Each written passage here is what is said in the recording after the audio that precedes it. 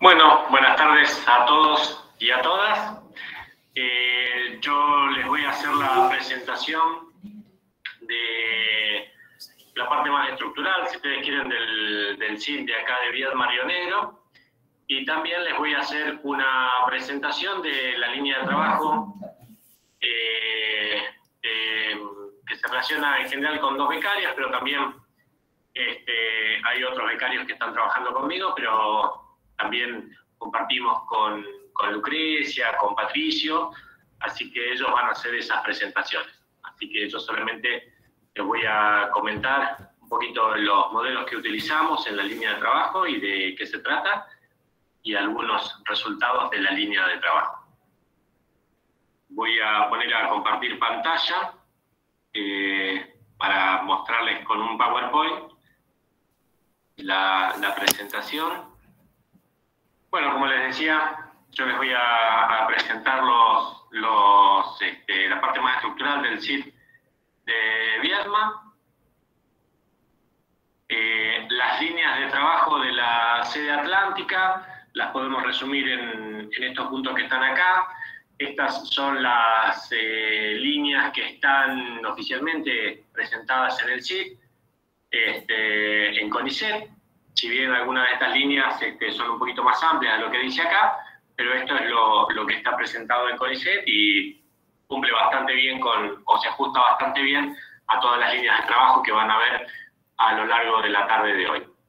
Así que tenemos principios activos en extractos vegetales, tenemos desarrollos biológicos para su caracterización, o sea, evaluamos a través de modelos biológicos, como pueden ser el pesebra o trabajamos con células este, y evaluamos la actividad biológica de, estos principios activos, procesos tecnológicos, procesos tecnológicos y biotecnología para su obtención. O sea que también utilizamos biotecnología para obtener este, principios activos, en realidad para, para, para um, producir plantas y a partir de esas obtener extractos vegetales y a partir de ahí componentes activos. También tenemos producción primaria y desarrollo de alimentos para consumo tanto humano como animal, calidad e inocuidad agroalimentaria. Acá adentro tenemos algunos proyectos que se relacionan con, calidad de agua, con también todo lo que es los proyectos de,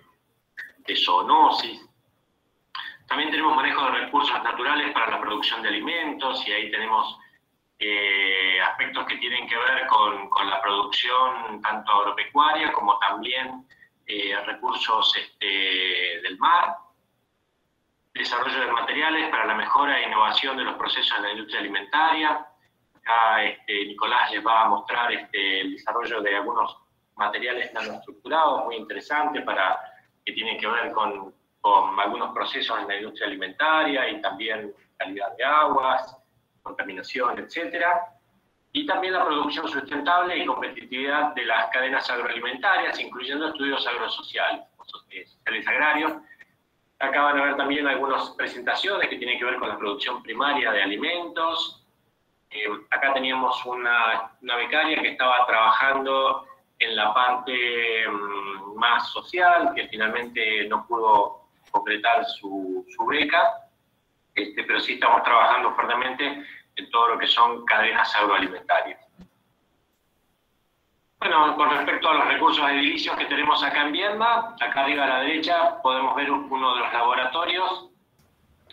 Eh, la, perdón, la idea del HPLC era, entre otras cosas, hacer algunos metabolitos secundarios y hacer eh, aminoácidos. Eh, en el caso de los aminoácidos, bueno, la compra de los patrones es un poco costosa, debe estar entre medio millón de pesos o un poquito más, comprar todos los, los patrones para, para, aminoácidos y los reactivos que, que se requieren para hacer ese, ese, análisis, así que todavía no lo hemos conseguido, pero estamos haciendo otro tipo de análisis, como pueden ser, eh, estamos haciendo análisis para el laboratorio de Profarse, de acá de Viedma, que es el laboratorio de medicamentos, tienen un equipo igual que este, entonces este, no, ellos no dan abasto con ese HPLC, así que les estamos brindando servicios con este HPLC. Y bueno, también hemos puesto a punto la determinación de, cannabinoides para empezar a dar un servicio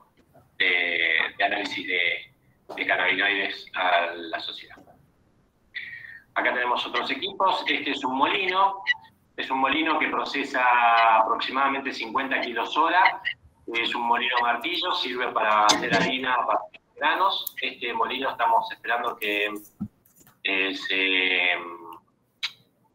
termine de refaccionar y de acondicionar la planta piloto de, alimentos que está en la Huiza para poderlo instalar. Es un equipo que tenemos ya hace más de tres años eh, sin usar porque no tenemos la, planta piloto todavía, es un, lindo equipo para tener en cuenta. Como les decía hoy, algunos equipos de microscopía muy interesantes con fluorescencia, em, lupa y microscopio, eh, que ya lo hemos usado con algunos, con algunos ensayos ahí con los chicos de, de Alto Valle, eh, un equipo de secado spray, este equipo de secado spray este, más o menos funciona secando aproximadamente un litro por hora. Bueno, quería contarles también cómo había sido la evolución de los recursos humanos en el, desde la llegada del CID. Creo que esto más o menos pasó en, todas las sedes, ¿no? Cómo, cómo, cómo partimos en el 2017 y cómo llegamos perdón, hoy al 2001. Fíjense, teníamos nada más que tres investigadores de carrera de CONICET, ocho de la, de la universidad y ocho becarios, y no teníamos ningún postdoc. Hoy, a 2021, pasamos de tener tres investigadores de CONICET a tener ocho investigadores de CONICET, desde la categoría de investigador independiente hasta las dos nuevas incorporaciones que tuvimos este año. Este, así que hemos llegado a un número de ocho investigadores de CONICET tenemos 17 eh, becarios con ICET, dos postdoc y 13 investigadores de la Universidad de Río Negro. O sea, hemos tenido un crecimiento muy significativo. Fíjense acá abajo en estas barritas cómo hemos crecido en investigadores desde el 2017 al 2021. Pasamos de 11 investigadores a 21 investigadores. Y en los becarios pasamos de tener 8 becarios a tener 19 becarios en la actualidad. También está cómo fuimos creciendo en la producción científica desde el 2017 al 2020. Si bien hay un incremento significativo en la, en la producción de publicaciones con referato, todas estas publicaciones que incluí acá son todas publicaciones eh, en revistas internacionales con, con, con distintos, este, de distintas categorías, pero, pero todas son revistas que están entre Q1, Q2, Q3 y algunas Q4. Hay muy buenas, muy buenas publicaciones, muy buen nivel de publicaciones en la sede. Y acá sí se ve un poquitito más, un poco más sensible el, tema de, la, de, cómo se fue incrementando los eh, resúmenes presentados a congresos. Siempre en general son un poquito más que las publicaciones. Se estima que más o menos cada dos este, congresos más o menos estaríamos publicando un paper. Eh, entonces, estas son las producción, la producción científica. Eh, y bueno, básicamente eso quería contarles como que tenemos como recursos eh, en, el, en el. Perdón, me estaba olvidando que no pude sacarle fotos porque estaba cerrado y no, y no pude sacarle fotos. nos queda contarles de un laboratorio de zoonosis donde mm, hay este, Marina Winter y, Sergio Abate están haciendo algunos análisis de triquinelosis, también la idea es que en un futuro se haga brucelosis, se, había comprado, se ha comprado un equipo muy interesante para hacer brucelosis, este, y ahora estamos esperando que se concrete finalmente la, instalación de una campana de seguridad para poder trabajar, por ejemplo, con, cabezas de jabalí, con, con muestras que pueden ser riesgosas, este, así que también tenemos ese laboratorio, es muy chiquitito, debe tener más o menos unos 10 metros cuadrados aproximadamente, y ahí es donde están haciendo ese tipo de análisis. Actualmente están haciendo análisis de triquinerosis, por ejemplo. Este, bueno, también estamos haciendo algunas, algunas colaboraciones y algunos servicios. Este, como les contaba hoy, habíamos hecho, eh, estamos haciendo servicios para, para Profarse, que es la, la farmacéutica que tenemos Sandierna, la farmacéutica de la provincia de Río Negro, elabora medicamentos para la provincia.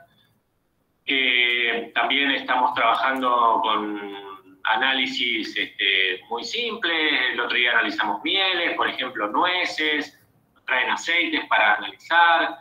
Este, así que estamos haciendo algunos análisis este, de rutina de alimentos como, como servicios.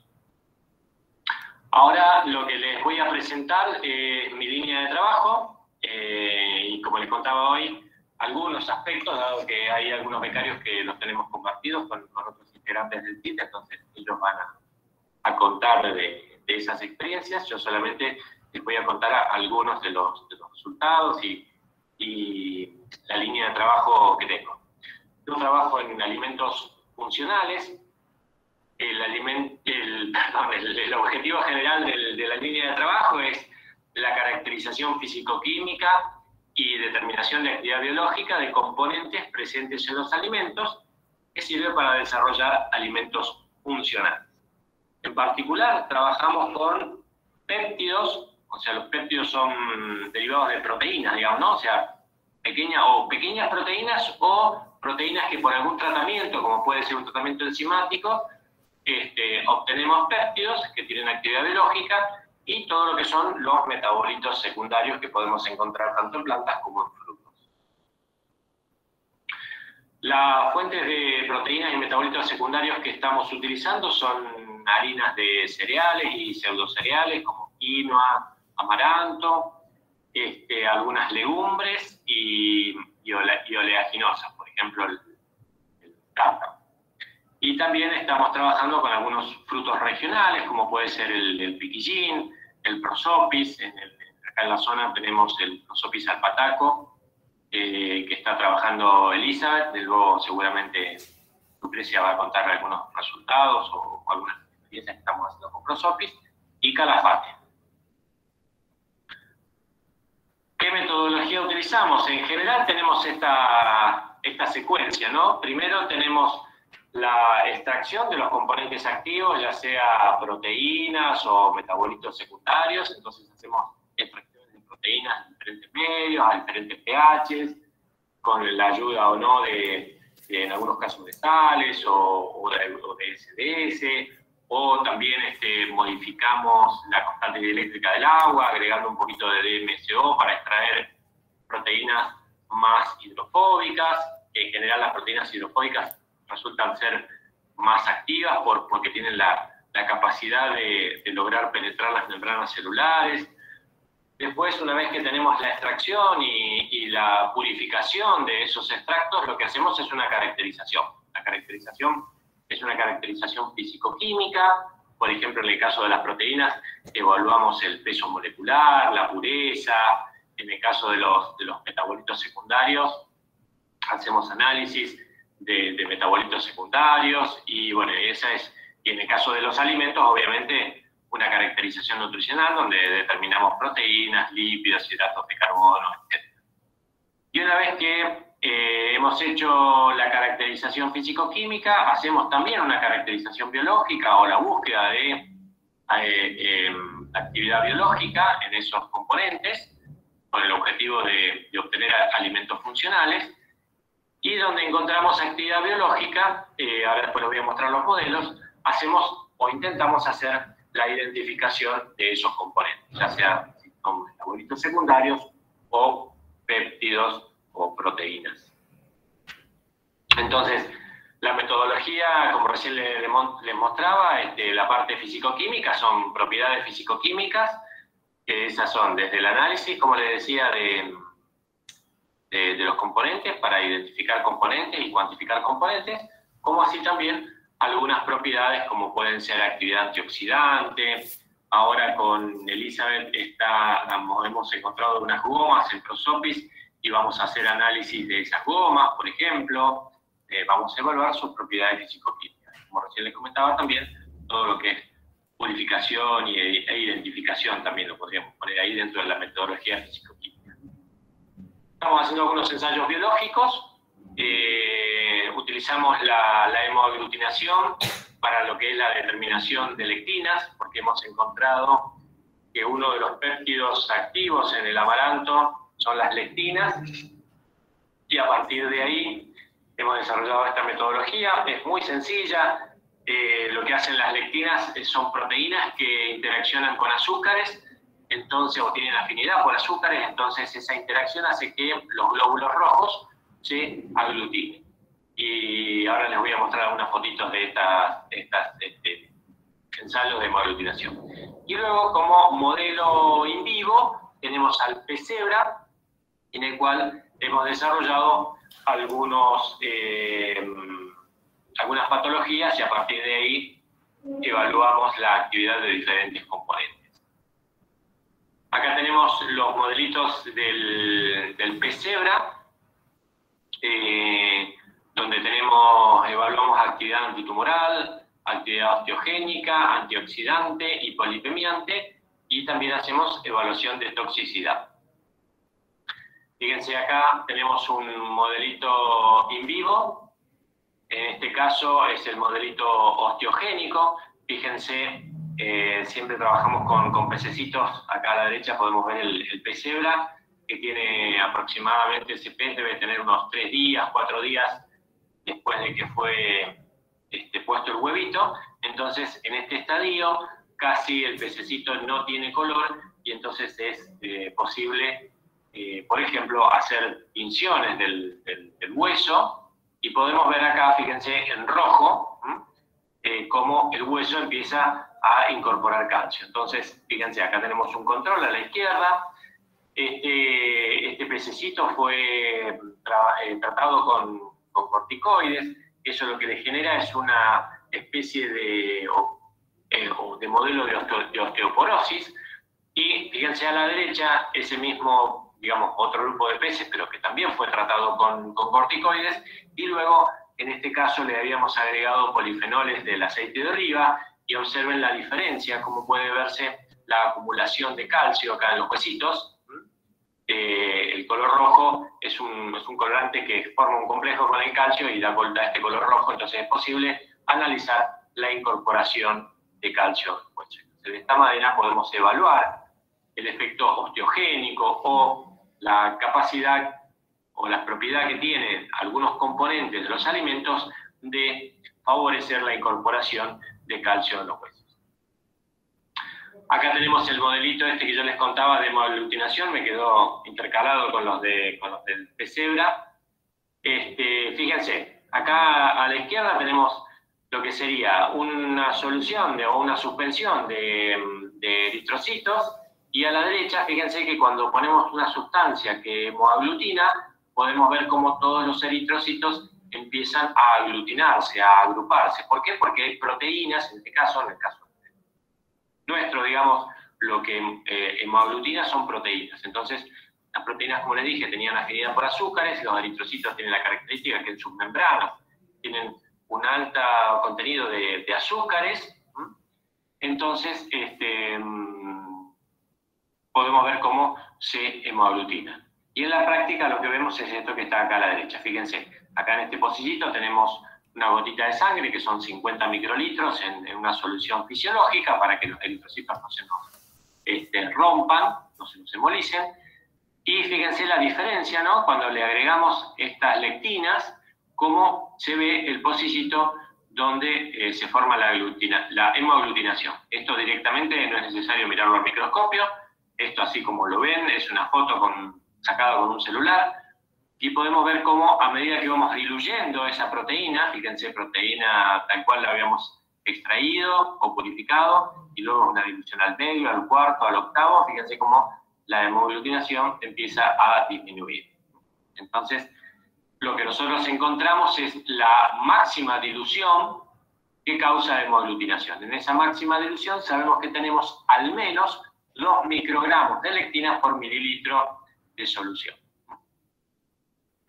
Eh, otro de los modelos que les comentaba de, actividad biológica era el modelito de actividad tumoral y de toxicidad. Los de actividad tumoral tenemos dos modelos.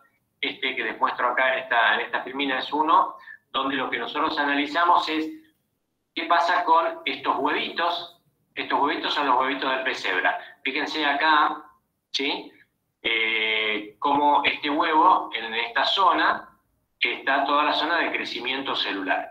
En los estadios tempranos de, crecimiento del huevito, este crecimiento de células es un crecimiento bastante mm, importante, o sea, hay una división celular bastante acelerada, ¿por qué? Porque se está generando el, organismo nuevo, entonces eh, funciona muy bien como un modelo de tumor. Entonces, si nosotros vemos y le agregamos a estos, a estos huevitos compuestos de alimentos que me frenan la división celular, lo vamos a poder eh, detectar. Después hay que ver si esa, esa, eh, esa inhibición del crecimiento celular se asocia con un efecto más bien de tipo tóxico o si se asocia más bien con un efecto antitumoral porque tiene algún tipo de selectividad entre las células tumorales y las células normales. Son ensayos que se hacen a posteriori, pero si nosotros no tenemos un componente que inhibe la proliferación celular, ya podemos descartar que ese componente no tiene actividad antitumoral. Si frena el crecimiento de estas células, podemos, podríamos estar en presencia de un compuesto que tiene actividad antitumoral. Luego hay que seguir haciendo otros ensayos complementarios para ver si ese efecto es un efecto solamente tóxico o si hay un efecto diferencial entre las células tumorales y las células normales. En este mismo modelo, que es directamente incubar los huevitos del pez cebra en diferentes soluciones, podemos también evaluar la toxicidad de, como le decía yo, de compuestos o de algunas otras sustancias que nos interesa analizar su toxicidad solamente.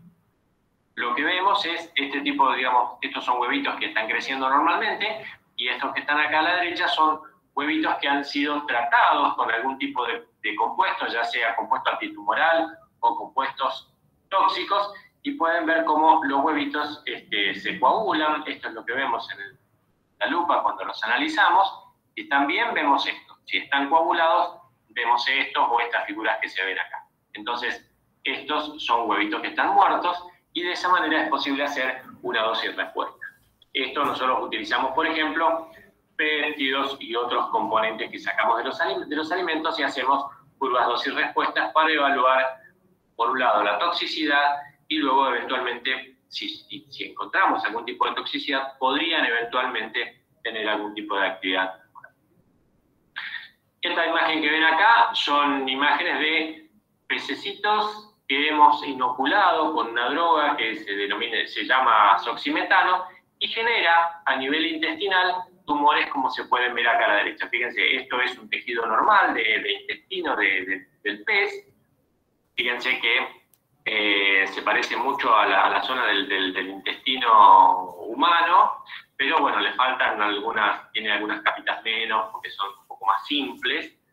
Este, pero fíjense, acá a la derecha, ven acá cómo se ve este crecimiento celular anormal. Esto es un tumor que está recién iniciándose a nivel de las células del intestino. Entonces, es posible generar eh, tumores con, con, sustancias químicas, en este caso el azoximetano, que cuando es inyectado intraperitonealmente genera este tipo de eh, tumores a nivel intestinal. Esto tiene que ver con que la droga se procesa en el hígado y luego se libera al intestino y cuando se libera al, tracto gastrointestinal del pez, termina de modificarse la droga y entonces en las células que ahí entra en contacto, que son las células del intestino, es donde genera los tumores. Por eso es que una inyección intraperitoneal de esta droga genera eh, solamente eh, tumores a nivel del tracto gastrointestinal.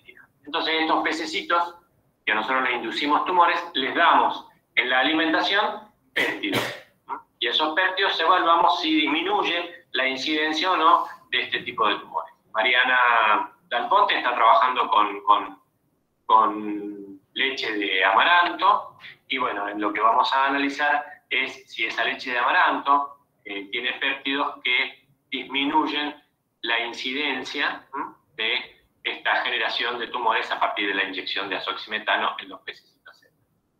Otro modelo que tenemos es de obesidad, Fíjense, acá tenemos un pececito control y acá tenemos un pececito que fue alimentado con alimento de peces que le hemos agregado eh, colesterol solamente.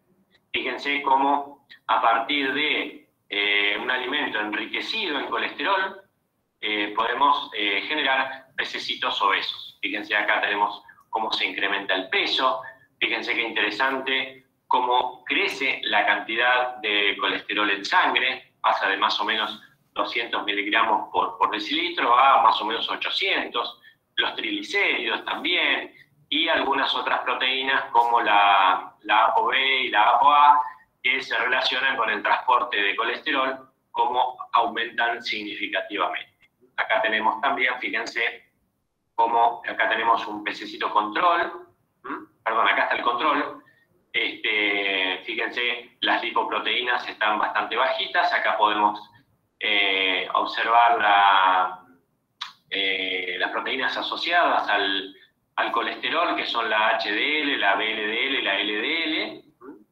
eh, y podemos ver cómo se incrementan ¿sí? en función del, de la alimentación con este, este alimento rico en colesterol.